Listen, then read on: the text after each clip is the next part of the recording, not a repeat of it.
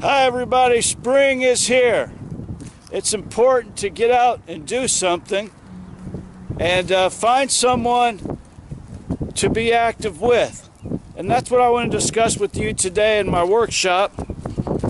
You know, find people that'll go to the park with you, um, go camping or play disc golf or real golf, um, go swimming because uh, having that, you know, maybe it'll, it'll create a little competition. You'll race or you'll just do stuff and you'll feel like you're more active and having fun.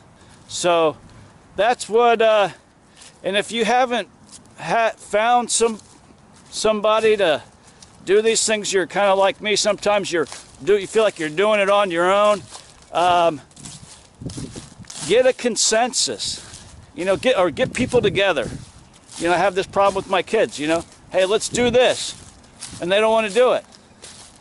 But I'm going to work on getting a consensus with them and then we'll go do it because it ends up being fun. And uh, that's what I'm all about.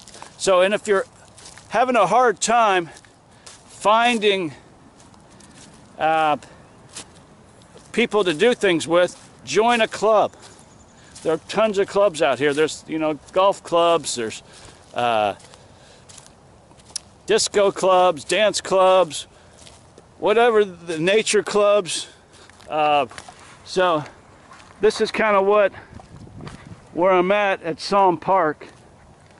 And uh, you can, you know, probably meet up here and play golf here with people. But this is uh, spring. Do we have any more evidence of spring? It's still early, but there's some green uh, ivy. So that's it for today.